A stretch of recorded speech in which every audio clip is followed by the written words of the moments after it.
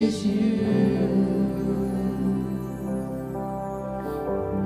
on your chest. Only what God says about me is true.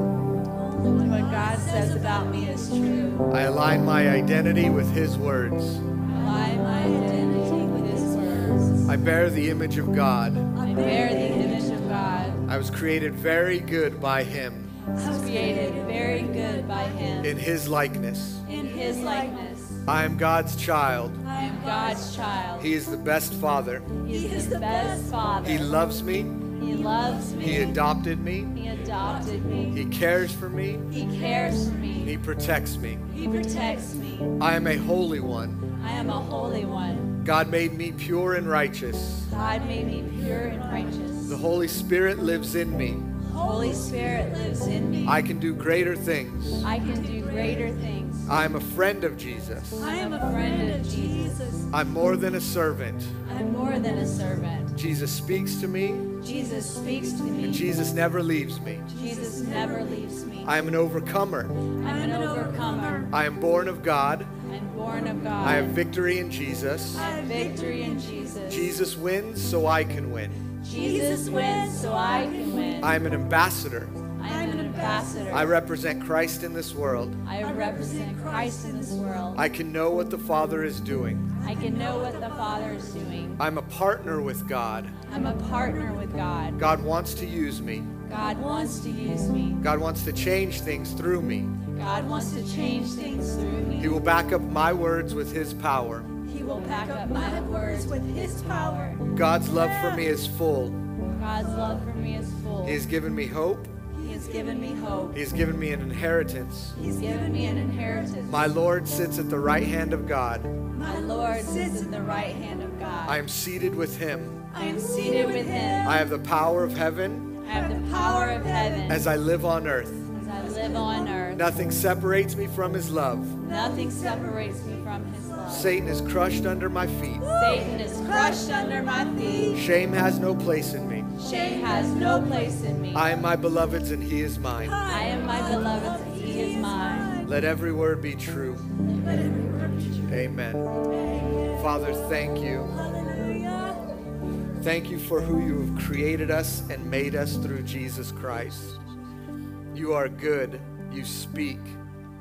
I pray that our ears are open now to listen to your word and what you would have. In Jesus' name, amen. You may have a seat. Final reminder prayer starts next week at 9:20.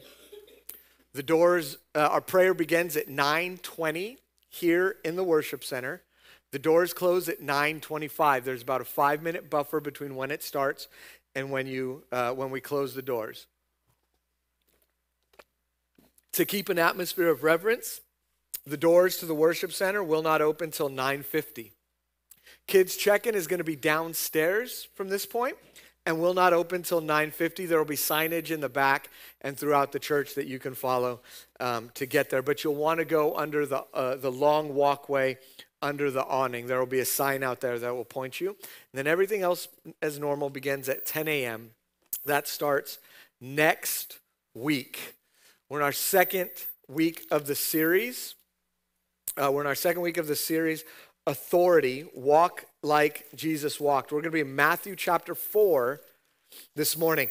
And uh, i'm going to tell you you're going to have to buckle in uh, because usually on sunday mornings i come in and i um, i say i have my powerpoint it's ready to go and i say okay what can i take away from this so i'm not up there for too long and then this morning i just kept adding stuff so we're going to go I want to start.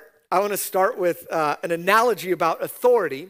What's good, righteous authority, and then what's uh, authority that's trying to take authority where they don't have it.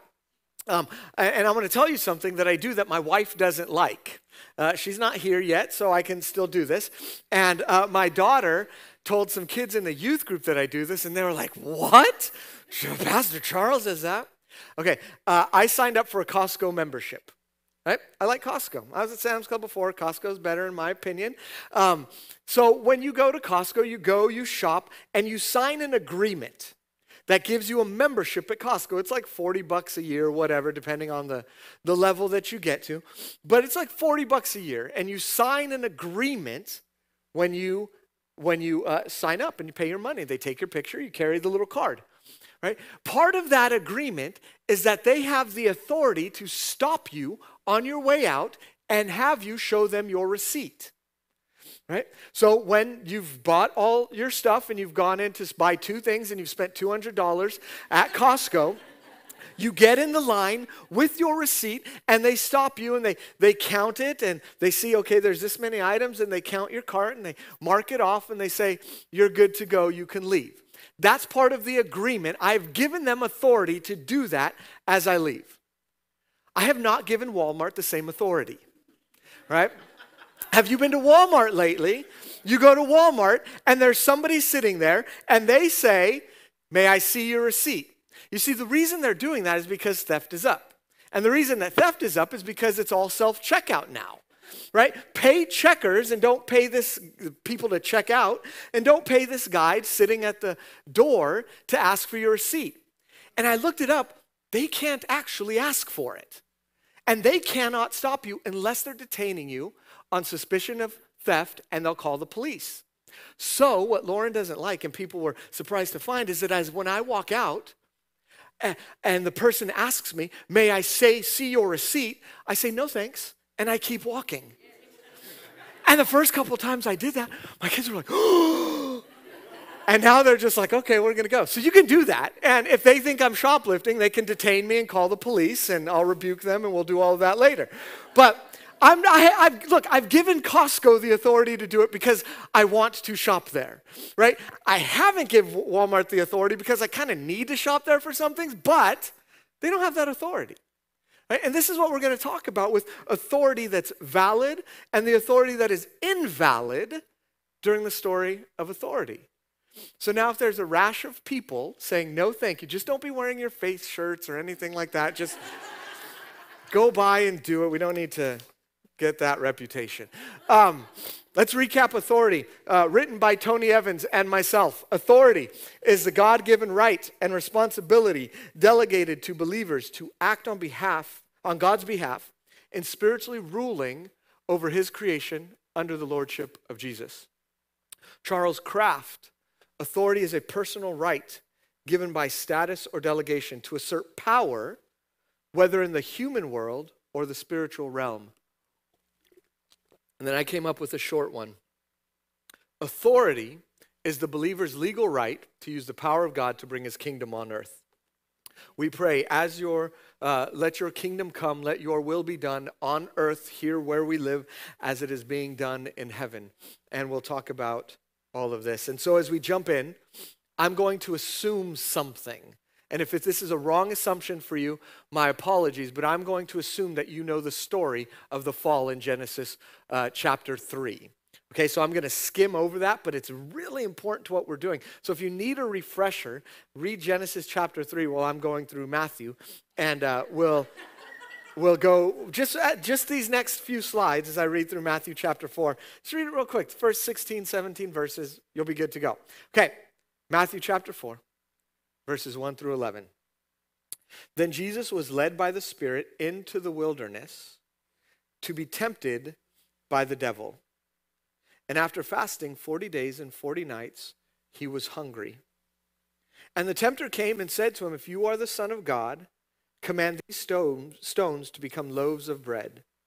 But he answered, It is written, Man shall not live by bread alone, but by every word that comes from the mouth of God. The devil took him to the holy city and set him on the pinnacle of the temple and said to him, If you are the Son of God, throw yourself down, for it is written, He will command His angels concerning you, and on their hands they will bear you up, lest you strike your foot against a stone. And Jesus said to him, Again, it is written, You shall not put the Lord your God to the test. And again, the devil took him to a very high mountain and showed him all the kingdoms of the world and their glory. And he said to them, and he said to him, All these I will give you if you will fall down and worship me. And then Jesus said, Be gone, Satan. For it is written, You shall worship the Lord your God, and him only shall you serve. And the devil left him, and behold, the angels came and were ministering to him. This is the word of the Lord. We're going to go from the beginning all the way to Jesus' death and resurrection and through the lens of these temptations. What the temptations were, what they mean, how Jesus overcame them, and how these temptations actually tell us the story of authority throughout the Bible. Okay? So the temptations come when Jesus is led by the Spirit in order to face this, in order to stare down Satan, like in an old Wild West movie where they meet in the middle of the OK Corral and no one's around and it's just them. And Satan comes, remember, Satan is not all powerful. Satan is not all knowing. Satan is not, uh, he doesn't have all the information ahead of time. That's not who Satan is. And so when Satan sees Jesus come onto the to the to the scene, right? He knows him from the spiritual realm, but now he's here physically on earth. He doesn't have full knowledge of what Jesus' mission is. He doesn't know. So he, I think, in a way, he's, he's using those temptations to try to figure it out. But what he does know is okay, there's a reason Jesus is here.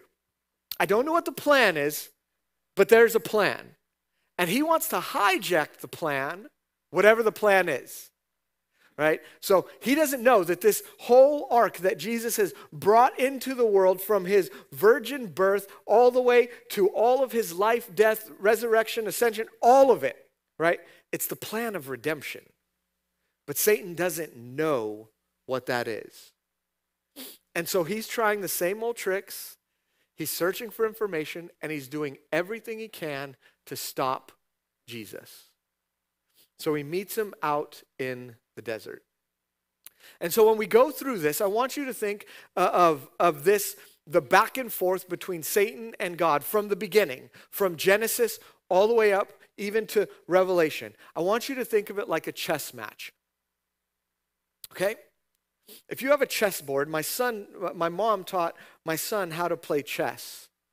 And I went to pick him up uh, yesterday or a couple days ago, I forget when, and he said, I finally beat grandma at chess.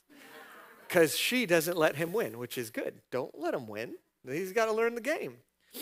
But in chess, pawns can only move forward. Uh, the first time it's two, the second time it's one, but they can move diagonal if they're going to kill somebody. Rooks have to move straight lines this way and they can't hop over anything. Bishops diagonally knights, they were like, let's just let the knights do whatever they want. So they move two spaces and one over. Right? These are the rules of chess. So if, if we're looking at uh, all of this authority as a chessboard, God is sovereign. God is all powerful. So he set up the rules to the game. He tells the chess pieces what they can do within the realm of the chessboard. But somebody's moving the pieces. This is how things have been set up. But God is sovereign, so at any time God wants to go outside of his rules, he can, right? And if somebody else wants to go outside of the rules, they can't. So we're going to start, think about this as we talk about okay, who was authority first given to? Who was authority first given to? We find in Genesis chapter 1 that Adam was given dominion, authority over the earth. He said, We're going to make him, God, uh, we're going to make man in our image. We're going to give him dominion over everything that we've created. And then the, the mandate for them will be to take this, what we have here in Eden, and make the whole world like it. Adam was given dominion. Partnering with God, Adam had the authority and legal right to rule over the earth. When I mean legal right, he could go and do what God said, operate within this. If Adam's the rook, God told him, you can go forwards, you can go sideways, you can't jump. Now go do what you're supposed to do within the parameters that I've set up. So he's partnering with God in that way, and now he was given legal right to rule the earth. And then one day, Eve's walking in the garden alone, and the serpent comes and says, Can you eat everything? No, I can't eat everything. Well, why don't you eat it? See what happens. She eats it, her eyes, she gives it to her husband. Adam eats it, their eyes are open. We're naked, loincloth, hiding, God coming. Where are you? All of it's happening. So when Satan then deceives the earth's ruler, Adam, death enters the world. And the thing you have to know about death is that death is the, was the enemy's greatest weapon against humanity. Death is the greatest weapon that Satan had against humanity. That's why Jesus came to give us what? Life. If you believe in me, you have eternal life, right? Jesus brings that thing against Satan. And so the world that Adam was supposed to rule over now rules over him. Everything changes. It says, says all of creation, God basically tells Adam, all of creation has changed now. You're going to work, but it's going to be it's going to be rough. There's going to be thorns and thistles. Everything's going to be fighting against you. He tells Eve, he says, "You're going to want to follow your husband, but it's not going to be easy anymore." He says everything changes in this moment. And so when Adam sins, all of creation falls and all authority is stripped from him to rule the earth. God, God tells, uh, God tells um, uh, uh, the Trinity as they're ruling, he says, he can't stay here anymore. If he eats of the tree of life and he's in this condition, it's not going to be good for him. And so he's banished from Eden. And Paul makes it clear that Adam is the representative of humanity. So when all authority is stripped from him, it's stripped from all of humanity. Right? God tries, God tries different ways to bring it back. Right? After the flood, he gives Noah the same commandment. He the command he gives Adam. And again, it doesn't work. So who was authority? Who has authority now? If Jesus has set up the rules but isn't going to move the pieces, uh, unless he decides that he wants to in specific situations, then who's given authority? From that moment, from Genesis chapter 3, Satan continues to build his counterfeit kingdom. He leads the rebellion in Genesis 6. The sons of God that are placed over the nations come under his influence to rebel. If you don't know what I'm talking about right there, please talk to me. Uh, I, I can give you books. I've taught on it several times, mostly on Sunday nights. But this is what happens as Satan begins to build his kingdom. So my my uh, uh, what I believe and what I'm teaching this morning is that Satan comes and rules and has authority in the earth after Genesis chapter 3. We see this in the Bible because by the time that Jesus appears, it is it is clear that Satan has a kingdom. In Matthew chapter 12, Jesus casts out some demons, and the Pharisees say, Well, how can he do that? He has to be casting them out by the power of Beelzebub. And then it says, And Jesus, knowing their thoughts, which is awesome, Jesus, knowing their thoughts, says to them, Any kingdom divided against itself is laid to waste, and no city or household can stand if it is divided against itself. So if I ca- so if Satan casts out Satan, then his kingdom is divided and will not stand. So he's giving us a truth there, but he's also saying Satan has a kingdom. And it's at work and it's powerful. But later, just a few verses down, he says, But, but, if I cast out demons by the Spirit of God, then surely the kingdom of God has come upon you. That's, that's the power right? That yes, Satan has a kingdom, but Jesus just walks onto the scene and starts ripping it apart brick by brick and piece by piece and demon by demon. In, uh, in John chapter 14, verse 30, Jesus tells his disciples, He says, The time has come, I will talk to you very little. It says, For the ruler of this world is coming. Right? Jesus himself calls Satan the ruler of this world. He says, The ruler of this world is coming, but he has no claim in me. For I am doing what my Father has commanded me to do. Let's get up and go. See, Satan's coming for Jesus, and he thinks, Satan thinks that he's setting in, pl- in motion this grand plan to kill Jesus at the cross. Right, but we'll get to that in a second. Paul says that he is the God of this world and that he blinds the eyes of unbelievers. So Satan was given authority in this world when he overcame Adam in the garden. So all of this brings us to the first temptation. Satan is trying to derail whatever Jesus is doing here on earth. So he got, goes to his tried and true method. In the garden, he goes up to Eve and he says, Can you eat of the tree? And she says, No, we're not supposed to eat of it. And he says, But look at it, just eat it.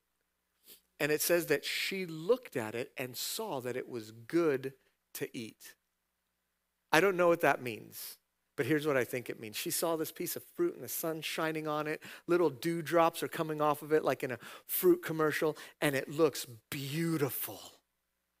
And she takes it down and she eats it. And Adam, she says, Adam, it's so good. Eat it. And Adam saw that his wife ate it, so he eats it. So this time, Jesus has been fasting for 40 days, and the scripture lets us know he's hungry. Yeah, thanks. Anybody would be after 40 days. And so, what does Satan do? He tempts with food. Why don't you take these stones and make them bread. I know you're hungry. I know you haven't eaten for 40 days. You're out here in the wilderness. Look around, there's no other food. So you fasted for 40 days. Where are you going to get the rest of your food? Even now. Make these stones, turn them in to bread. He comes at Jesus' most vulnerable point. See, Adam had the Word of God. He had the very words of God spoken to him. Do not eat of the tree of the knowledge of good and evil in the middle of a garden, for in the day that you do, surely you will die. And so when the temptation comes, Adam forgets God's words. And when Jesus' temptation comes, he doesn't forget. He says, And it is written. What is the bread but every word that proceeds from the mouth of God? Unlike Adam, who did not abide by the words of God, Jesus says that the real bread is the very words of God. So he turns this all around on Satan and says, Nope. The Adam failed. He forgot the words. Me, I don't forget the words. I remember it all. Me and the Father are one. This is the first temptation. So Satan's like, ah, that doesn't work. Let's try another thing. See, when Adam failed his temptation in the garden, it brings death. Like I said earlier, death is Satan's weapon. So he takes him up to this high mountain, it says. I happen to think it's Mount Hermon. Whole lot of spiritual stuff happens on Mount Hermon, right? So he takes him up there, I think. And it says he shows him all the kingdoms of the world. And I think he shows him Rome. But I also think he shows him the Ottomans that are going to come, the Byzantine Empire that's going to come, the dynasties of China. I think he shows him uh, America. I think he shows him everything that's to come as well. And he doesn't know what Jesus' plan is, but he wants to derail it. So I if Satan can kill Jesus, then the plan fails. Or so he thinks at this point.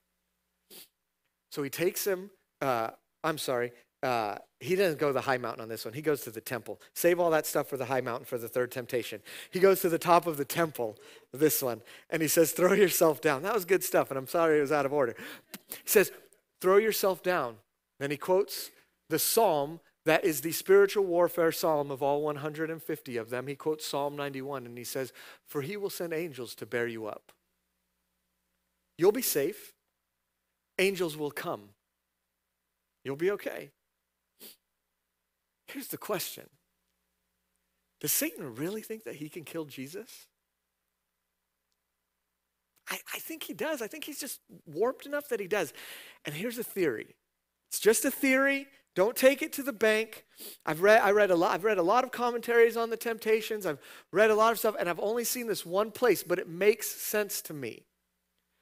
Okay? In Daniel chapter 10, Daniel prays to God for help. And what happens? An angel is sent immediately to go answer Daniel's prayer. But it takes him 21 days to get there. Why? Because as he's going through the spiritual realm, it says the prince of Persia withstood him. And all the kings of Persia came up against him. So it stopped him. He, the, the, prince of Persia is a spiritual entity, um, it's a principality.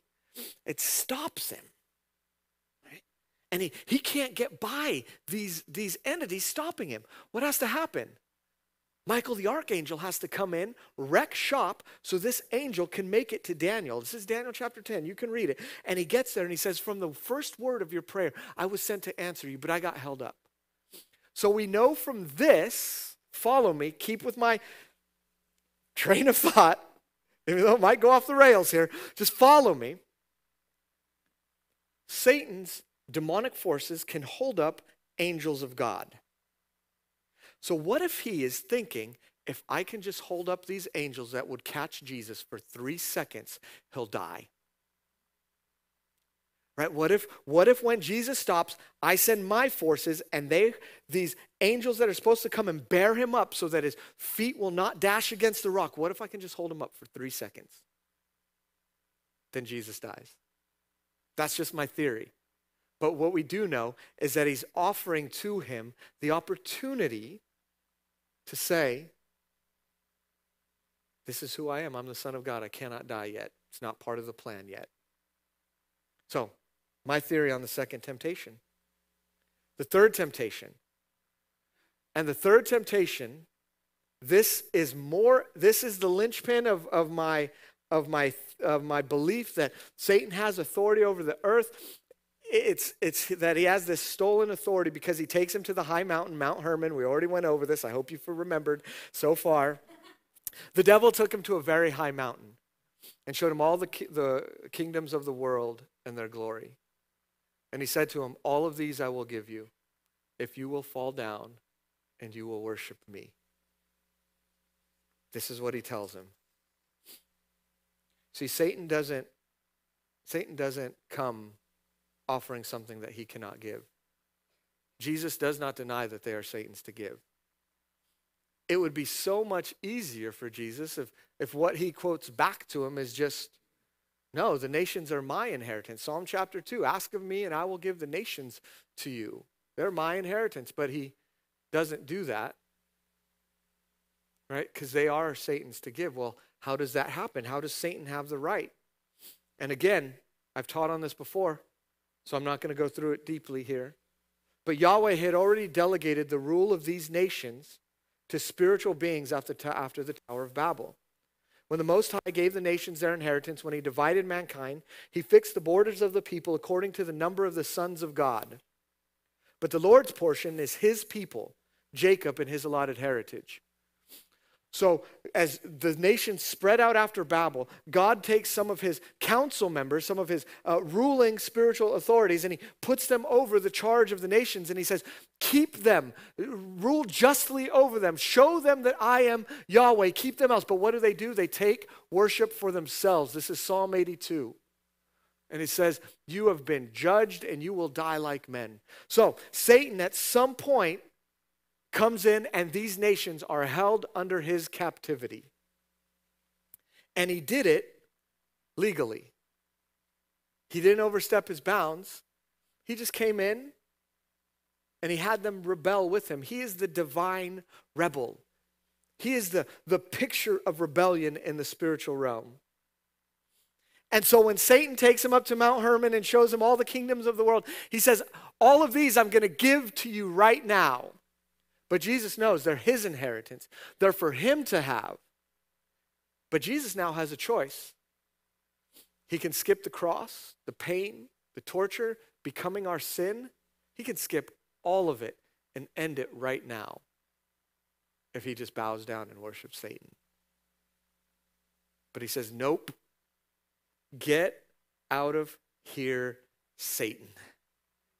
You shall not, you shall worship the Lord your God only, and him only you will serve. And then the devil left him, and behold, angels came and were ministering to him. Again, my belief, I think they brought some food with them. I do. They, they, Elijah was fed by ravens. Why can't angels bring a burger to Jesus afterwards? Right. So, what's the plan? What was Jesus' plan? What's this plan of redemption? Because man gave away authority, a man must win it back. It's part of the rules. Because man gave away authority, a man must win it back. But we see through the Old Testament that nobody was capable of doing that. Hey, Noah, you go out, you win this back, you take dominion over the earth. What's the first thing Noah does? he lets the earth take dominion over him when he drinks some wine and gets drunk. Israel, you're going to be my people. All of these other nations, I'm forsaking for now, leaving them under the care uh, of these other, uh, of my other servants, and you are my people. Just serve me. Just be the place for my presence. Just do that, and we can take this place over. What does Israel do? Right down the drain. But man, and man cannot win authority over death. Only God can win authority back by breaking death's grip. And so, Jesus must come as fully God and fully man in order to win back what was lost.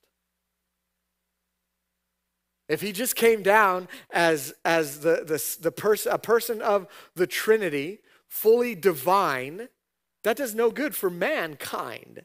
Yes, he will defeat Satan. Yes, he'll have the spiritual realm, but mankind has no place in it, has no part in it.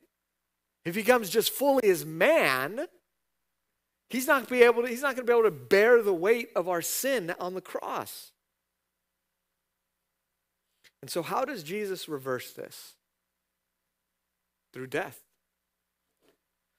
Which, in the grand scheme of things, is so totally backwards. I'm going to give people life by dying myself? How in any other uh, economy does that work except for God's economy?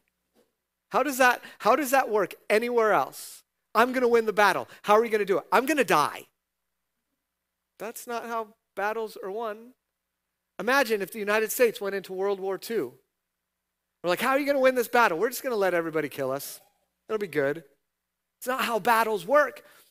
And so Jesus does this by taking Satan's greatest weapon, which is death, and using it against him. Here's what the writer of Hebrews says Since therefore the children share in flesh and blood, us, flesh and blood, he himself likewise partook of the same things. He became flesh and blood also, that through death, he might destroy the one who has the power of death, that is the devil, and deliver all those who through fear of death were subject to lifelong slavery. Without Jesus, we're in slavery. We're bound and gripped by fear. We're bound and gripped by death. Without Jesus coming, becoming like us, and defeating Satan, we're hopeless. And Jesus climbs up on a cross so Satan thinks he's setting in motion, as things progress, he thinks he's setting in motion his victory to kill Jesus. Right? First, he tries to do it with Peter. I have, Jesus says, I have to go. I have to be delivered up to the authorities. I'll kill, but I'll rise again. What does Peter say? Nope. That's not how it goes, Jesus. Well, how does Jesus answer? Get behind me, Satan. He tries to use Peter to convince Jesus to do it another way. And all this stuff is stirred up with the Pharisees. What does he call the Pharisees? The sons of Satan. He's using the Pharisees to try to derail Jesus. And then for Judas, what does it say? And Satan entered Judas. And that leads to the betrayal, the handing over. So Satan thinks he's won. He thinks he's succeeded in killing Jesus. But he didn't realize the reality that he did not kill Jesus, but Jesus died willingly. He's the sacrifice for not only our sins, but the sins of the whole world.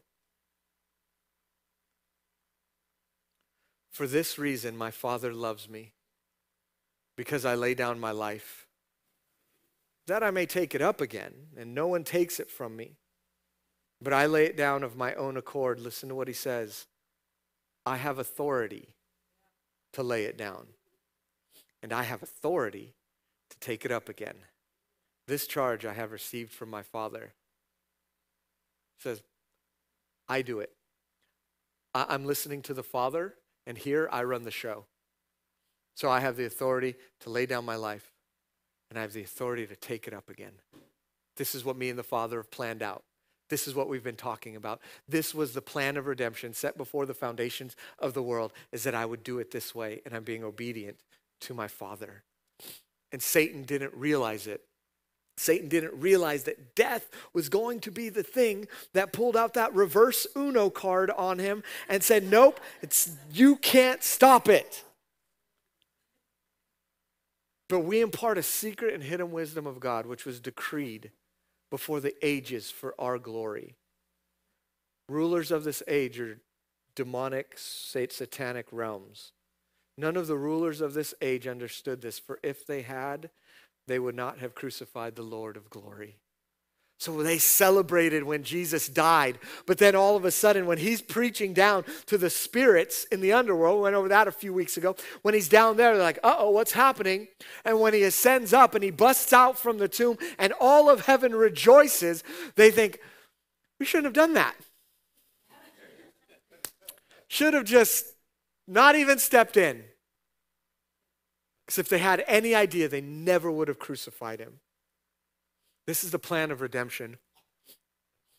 Over the past couple years, I've uh, now said, I will never call it the plan of salvation. We receive salvation in the plan. It's my number one bullet point coming up, so don't, don't judge me too harshly yet. All right? Because by his death on the cross, Jesus takes our sin. He bears the weight of our sin on the cross. He is set forward as a propitiation, John says. He bears our weight. And so when he is dying, what does he say? It's finished. I've took the sin. I've took it all for any who would believe in me. It's done. It's taken care of. I've, I've finished that part of the plan. Right? That's, that's a good step in the plan of salvation. But by his resurrection, he conquers death and he conquers Satan. And so I, I, don't, I don't call it just the plan of salvation because it is so much bigger than just our personal salvation.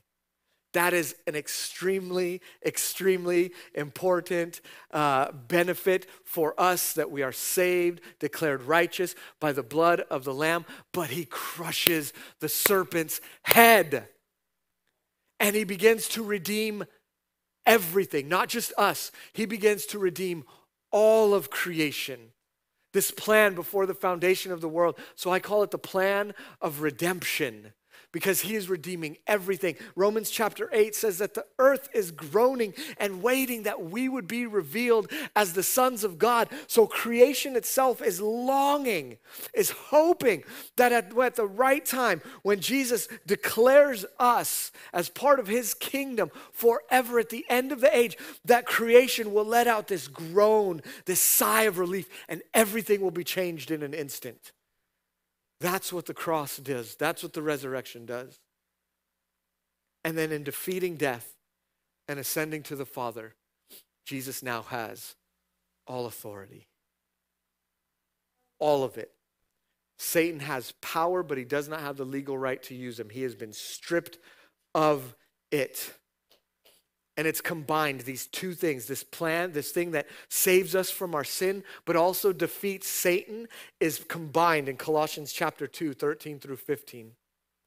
And you, we were dead in your trespasses and the uncircumcision of your flesh, God made alive together in him, having forgiven us all our trespasses by canceling the record of debt that stood against us with what? Its legal demands. This he set aside, nailing it to the cross. And he disarmed the rulers and authorities and put them to open shame by triumphing over them in Jesus. He takes your sin, he crushes Satan, transfers you from the kingdom of darkness into the kingdom of the glorious Son. He does it all. Daniel has a vision of this happening. In Daniel chapter 7, he says, and, and I saw in the night visions there was one seated on a throne, and he was like the ancient, he was the ancient of days. And then he sees something else happening. I saw in the night visions, and behold, with the clouds of heaven. How does Jesus ascend to the Father in Acts chapter 1? Clouds. He's the cloud rider of heaven. He comes with the clouds of heaven, and came one, and there came one like the Son of Man, Jesus' favorite title for himself. And he came to the Ancient of Days and was presented for him to before him. And to him was given dominion and glory and a kingdom that all peoples, nations, and languages should serve him. His dominion is an everlasting dominion which shall not pass away, and his kingdom is one that shall not be destroyed. Jesus goes up to the Father, and the Father says, It's all yours for all time. Everybody's going to worship you. At your name, every knee is going to bow whether in heaven, on earth, or under the earth, and they will confess that you are Lord to the glory of God the Father. It's all yours, Jesus, and nobody will destroy it. Nobody can take it away from you. And Jesus lets his people know. He says, And Jesus came to them and said to them, All authority in heaven and on earth has been given to me. Right? Daniel's vision said that all people, all tribes, all languages, all nations would come to the knowing of who Jesus is. And so Jesus tells his people, go and make disciple of what? Everything. Everywhere you go, it's yours. Everything your foot walks upon, like he told Joshua, I've given to you. Go, make disciples of them, baptizing them in the name of the Father and of the Son and of the Holy Spirit, teaching them to observe all that I have commanded you. And behold, I am with you always, even to the end of the age. Jesus has all authority now. It was given to Adam, stripped by sin and death.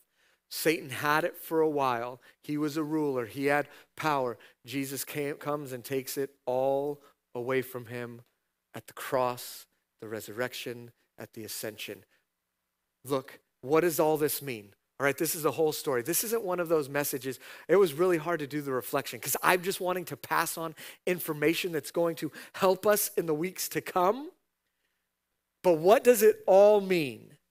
The cross is bigger than we can ever imagine. It's so much bigger. It's not just about salvation, though salvation happens in it, but it's about redeeming all of creation and defeating powers of darkness, reclaiming what Adam lost. Right? That's, that's the gospel. That's the full good news that Jesus preached. That he was going to come to die, that he was going to rise again, and his kingdom was being established in who he was. The gospel is so much bigger than well, you're a sinner and you need forgiveness, which is true for those who are unsaved, but it is so much bigger than that. It is the announcement that Jesus is king and he has all authority in heaven and on earth. And if you follow him, he will forgive you of your sins. He will take you into him and who he is. Because Jesus has authority, Satan can try and stop the kingdom from advancing, but he loses the gates of hell will not stand up to it. Where Jesus was when he said that was probably on the shadow of Mount Hermon. And he says the gates of hell aren't going to stand up against what I've what I am doing. And the way some Christian talks, it just seems like we've lost all hope. Well, things are supposed to get worse before they get better. Right? Well, you know, we don't have to fight the culture wars. We don't have to get out there and do what God's called us to do because He'll come and rescue us at some point. That's not the picture at all that the Bible presents. Right? The picture of the Bible presents a, a empowered, a spirit empowered church going out into the world and winning back areas, territories, people from the grips of Satan and bringing them into the kingdom of God. That's the picture of the Bible. The gates of hell can't stand up against it. It will keep going and keep going. And there will be battles and there will be fights and it won't be easy. We're still toiling in the fallen world, but Jesus has ensured and secured our victory. And the final point, which I'm just giving you as a taste for next week, right? Just a little appetizer. Come back next week for the entree. If Jesus has authority, then he can give authority to whom he chooses. So, how are we going to end this? How are we going to end this? I still have no idea. I have three points. We'll see how it goes.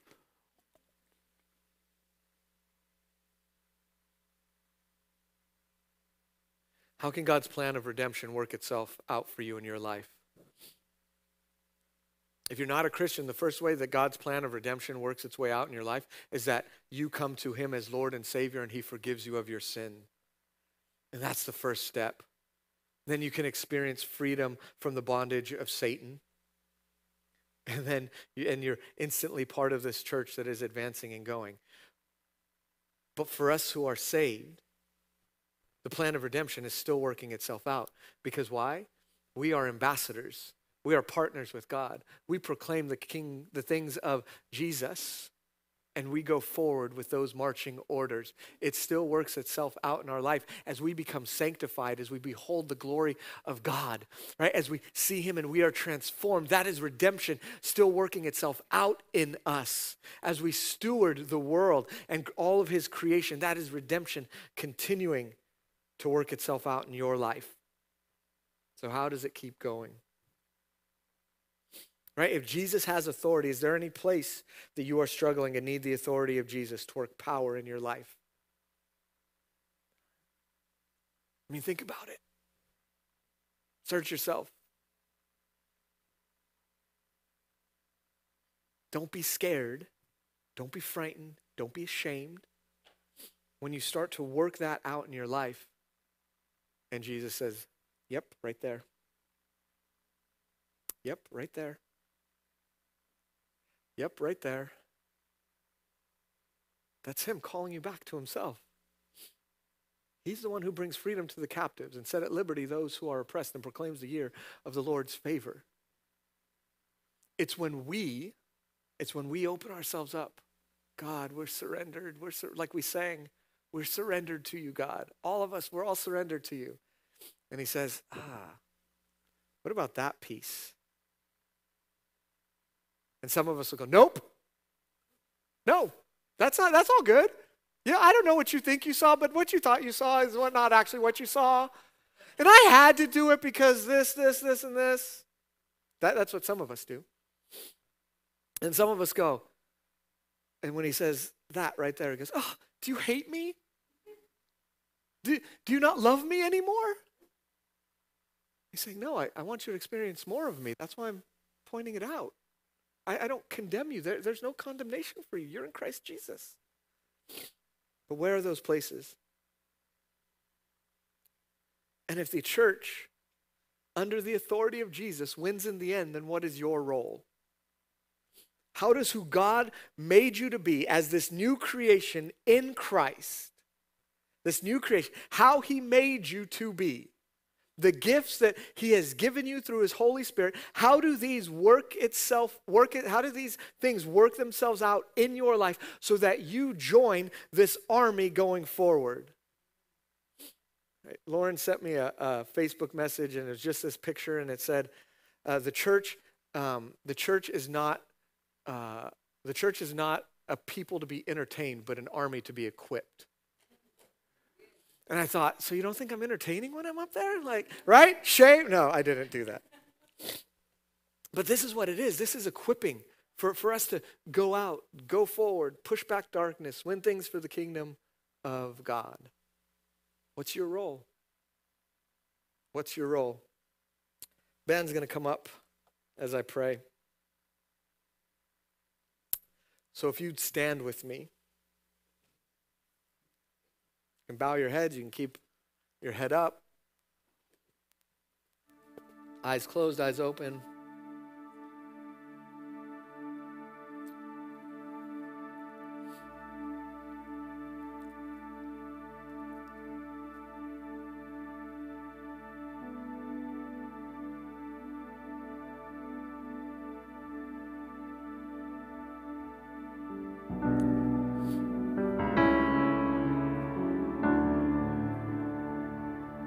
Father, I thank you. I thank you that you are so much bigger, so much deeper, so much wider than we can even begin to imagine, that we can't even begin to understand the depths of your love for us in Christ Jesus and the power given to us through the Holy Spirit. This morning, we're just going to sing a song of celebration, and that's how we're going to end. Do want prayer for something, if something that I said struck you, resonated, you can come up front and I will pray for you. You can find me after and I will pray for you. But we're just going to celebrate the victorious, risen Savior. So, Father, I pray that you would break off any spirit of shame that would keep us from worshiping freely. Free to let loose. In Jesus' name. Amen. Oh, let's just all sing hallelujah.